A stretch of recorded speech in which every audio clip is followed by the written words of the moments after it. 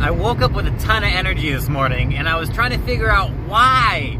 Why so much energy? Why did I wake up earlier? Why did I need less sleep? Well, I didn't overeat last night. See, a lot of times I overeat right before bed and go to bed. That's kind of the routine that we all do, right?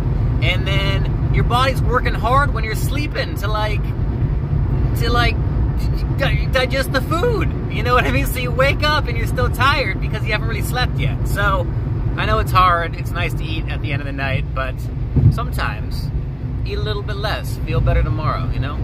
Yeah.